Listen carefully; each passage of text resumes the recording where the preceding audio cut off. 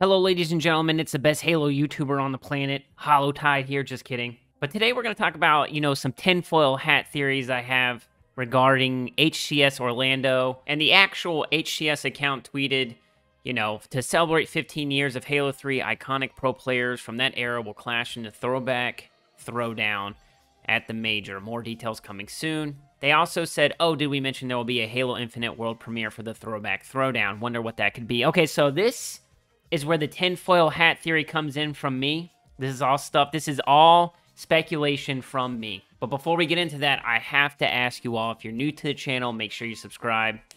There's a ton of you who don't, and I would greatly appreciate it. And if you agree with this theory, leave a like on the video and a comment down below. So my theory is that not only are we going to get those Halo 3 maps remade in Halo Infinite that everybody else is saying, but I think we're going to get a lot more. And this stems from a conversation, not really a conversation, just a tweet I had with Tashi, who is the head of Halo Esports and viewership at 343.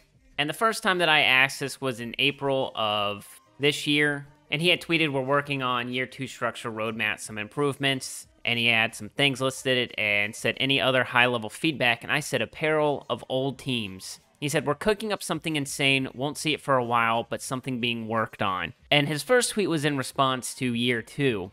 But I think that we're on a, a better timeline than that. And I had remembered that tweet, you know, from a long time ago, and it made some connections with some other things that I've been seeing.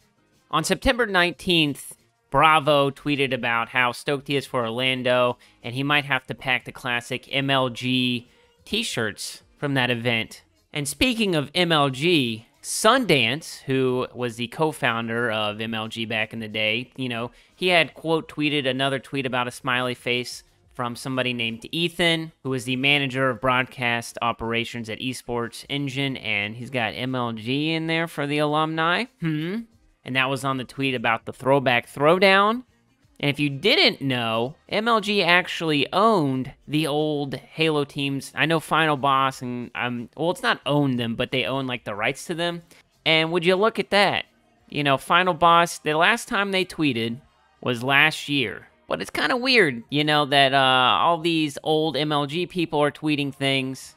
In fact, earlier in September, Sundance also tweeted this picture of an old MLG shirt so my theory is is that we're going to get a ton of apparel, a ton of throwback type of stuff in addition to the Halo 3 maps. I feel like this whole throwback thing that they're doing is going to be a little bit bigger than just maps, I guess. And who knows, you know, what if the actual new partnered teams were just MLG teams? Like the rosters got bought out or something. I don't know. We'll see what happens. But that's going to do it for the video, ladies and gentlemen. If you enjoyed, make sure you leave a like down below. If you're new to the channel, make sure you subscribe. And I'll catch you in the next tinfoil hat theory special. Peace.